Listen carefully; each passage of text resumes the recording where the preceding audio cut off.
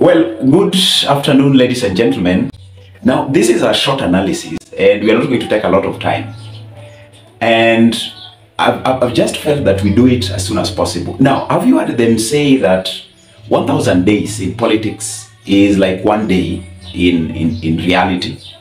So, meaning some things that can take 1,000 days can actually uh, be truncated, and we have only one day being uh, the day that we get the impacts of all that we would have seen in 1,000 days. Just like what is said in the Bible, for God, one day is like 1,000 days. So I'm seeing something going to happen in Mount Kenya.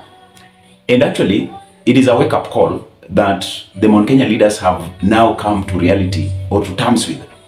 Remember, some times back, uh, there, there is this a crop of leaders who are very much against the grain of William Ruto. The likes of Gathoni wa Muchomba.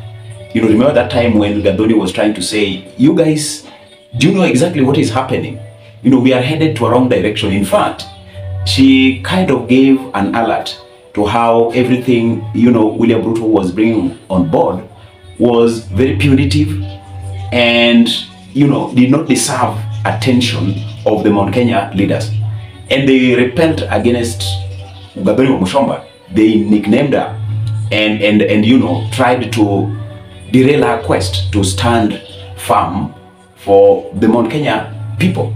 But the cows have come home. You know, we are now having everything coming to terms with what is the reality on the ground. And so I was listening to, you know, a section of Mount Kenya leaders saying that they are going to gang against these punitive measures of William Ruto and they are going to go to the streets. So if you are waiting for that time when things will take a serious dimension, then this is the time. You know, they always say that Mlima Kenya huonekana kwa umbali. And when it is being seen from afar, whatever they say, whatever they cling onto, if there is a move that they need to champion for, you know, it, it, it must be felt in a cross-sectional manner. And so I was listening to this leader saying, you know, we are going to go to the streets.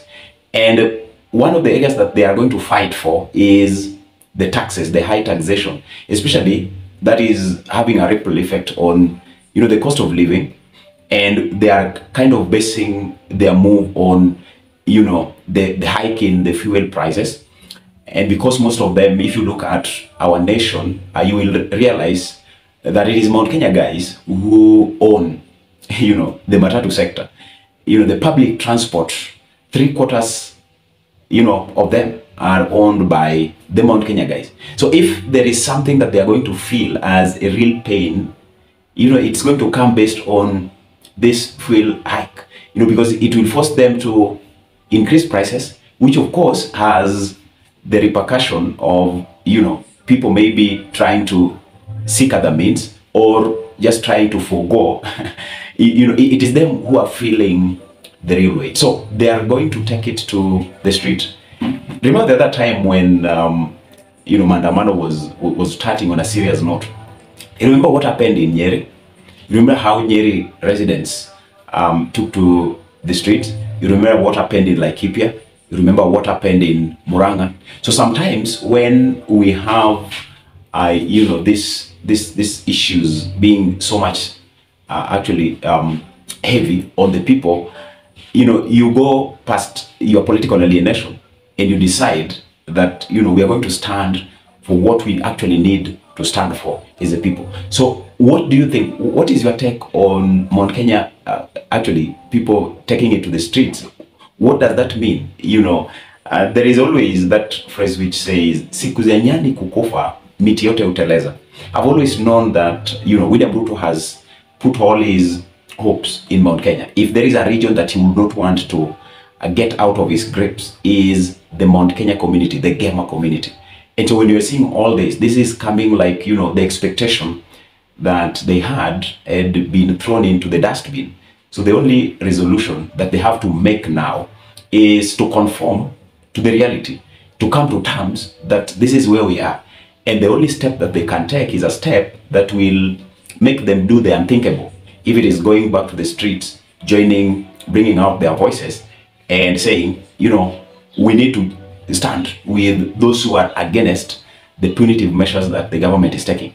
And for William Ruto, I think this is now going to be the second time that he needs to have a streamlined a mindset in realizing that, you know, these citizens that he is representing, for him, he also needs to consider himself as a citizen. Apart from being the president, he is also a citizen. So when you see them coming on board and trying to say that we are going to take matters up in arms, this should be a, a strong wake-up call. It should be something that William Ruto takes with a lot of you know, you know, you know keenness and, and, and he moves with a lot of caution in everything that he's going to do. And now the narrative has changed. If you look at those leaders who are, you know, called the lieutenants of William Ruto, you know, ev- even the way they are now coming out to talk in public has totally changed.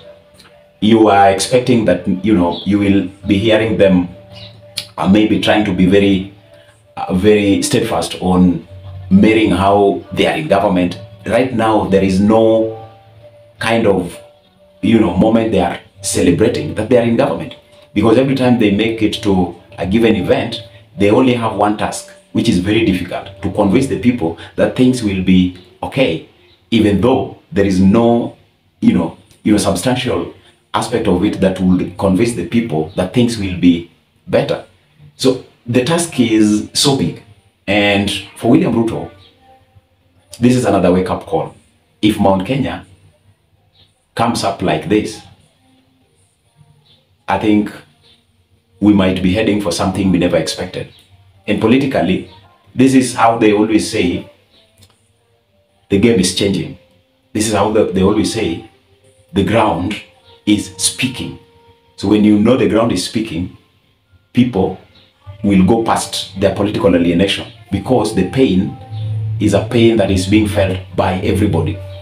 The other time, Keter was asking uh, the, you know, Kalenjins that can you show me a petrol station that is meant for the opposition and a petrol station that is meant for the government? You can't have something like that. So if it is a pain, it is a pain in a cross-sectional manner. High cost of living is cutting across. So I, I think um, this is another, you know, wake-up call for this man from Sugoi and he needs to actually give it more attention for him to survive a little bit further. What do you think, ladies and gentlemen? What do you say? Let me uh, see you next. Have a great time.